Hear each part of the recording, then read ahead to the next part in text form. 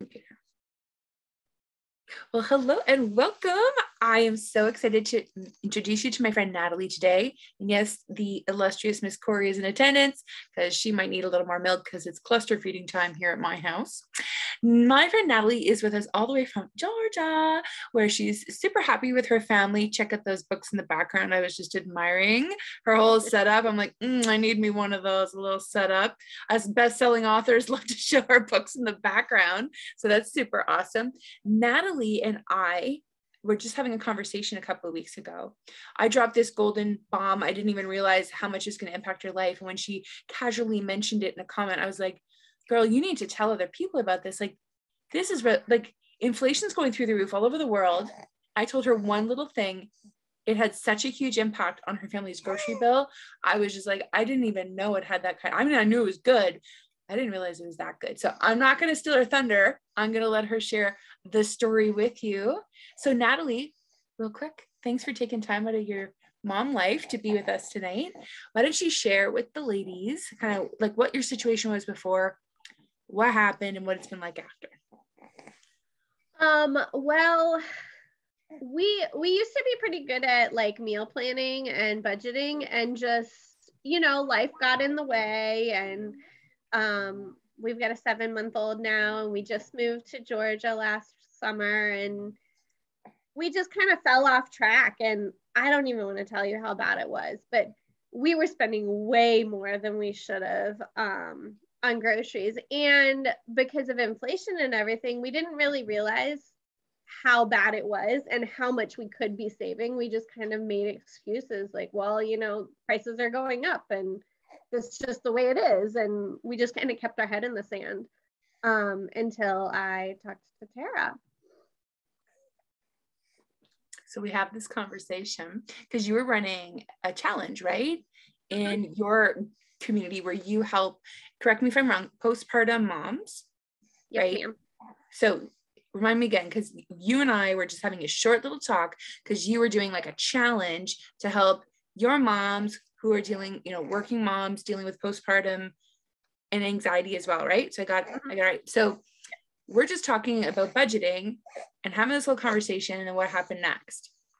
Um well, I implemented one of the things, one of the tips that you gave me, and um, your tip made it possible in my busy life to actually meal plan again without stressing about it or spending, you know, hours trying to figure out what I was going to plan for meals.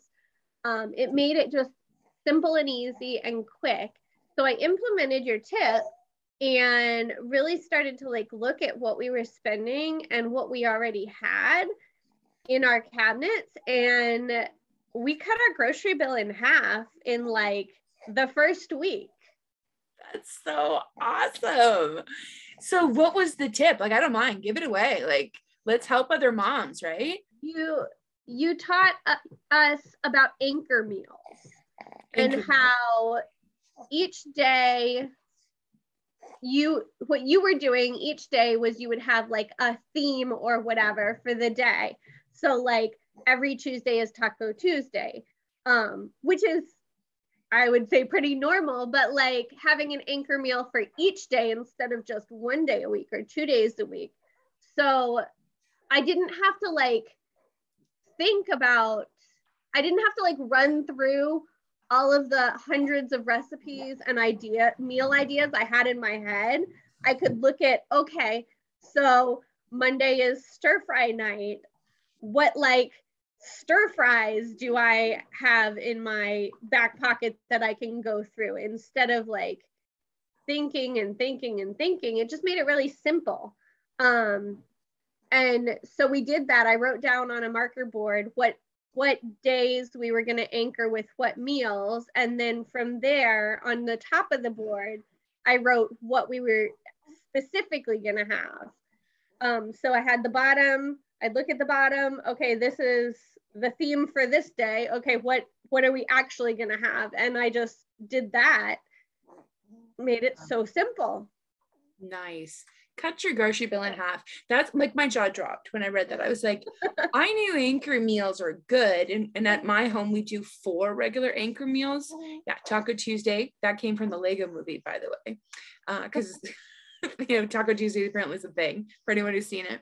And then we do pizza Friday, uh, burger Friday, pizza Saturday. No, pizza. I get my days mixed up because my kids are getting involved with it now. Pizza's on Sunday, and then Mondays it's soup and salad. And now that we're going to the summer season, it's going to be make your own sandwiches and salad. So it's always some kind of salad on Monday and soup or sandwiches, depending on the season. And those that way I only have to think of three other nights.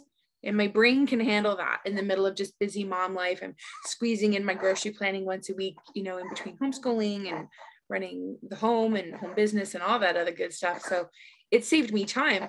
I didn't realize how much money it would save you as well. So that's fantastic. And that's actually just one like one little tidbit, one piece of what I share. I actually made a whole course out of it for anybody who wants to check it out.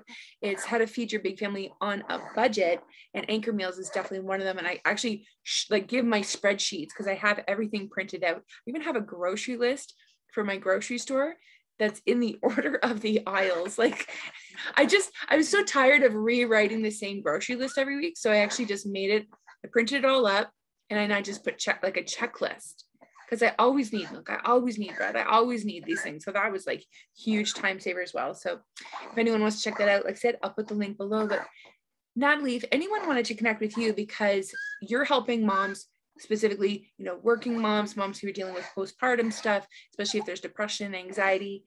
Tell us a little bit more about like what you do and how people could connect with you if they if they would like to. Um, if you would like to connect with me, you can connect with me at findnatalie.com. Super easy. Um, I am also on Facebook. My um, group is called Working Moms Overcoming Postpartum Anxiety. So what I do is I um, help postpartum moms who are, as you know, Tara, because you're in that stage. Um, think back to where you were your after your first child. Um, it's very stressful, and if you don't have the support that you need, it can really create a lot of anxiety and um, it can trigger feelings from uh, it can trigger like past traumas that you don't really realize are a thing until you get in that state of overwhelm and no sleep. And so i'm really there to support postpartum moms and kind of help them walk through that journey and you know share tips tricks hacks that i've learned um, becoming a mom twice now um, after a lot and that that's kind of one of my uh i don't know superpowers something i don't know what what the word is but that's one of the key pieces for me is that i i have such a large age gap between my two children that like this when i came became a mom a second time it was almost like i became a mom all over again and had to go through all of that kind of stuff again because my oldest is eight. Um so I'm like right out of, of that stage again now, but I also have the experience from my first. So that really gives me, you know, that it, that equips me to help a little bit more. right on. That's so cool. You're right. Like rather than looking like that as like, oh, poor me, you're like, wow, actually this gives me a reserve of wealth, of knowledge and experience. And you know, that like memory you can draw upon eight years ago. You're like, I've been here. I've been here. Okay, I won't die.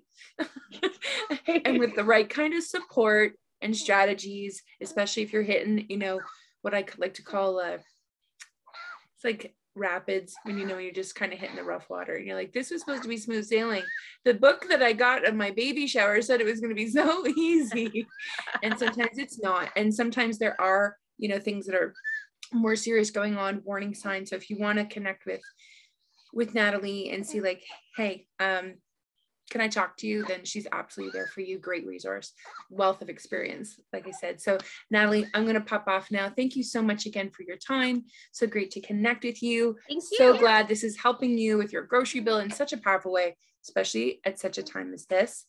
And again, so good to see your pretty face on this night. You too. You take care. Give your babies a smooch, the big one. All right. And the little You one. too. and we'll talk to you later. All right, have a good one. You take care. Bye.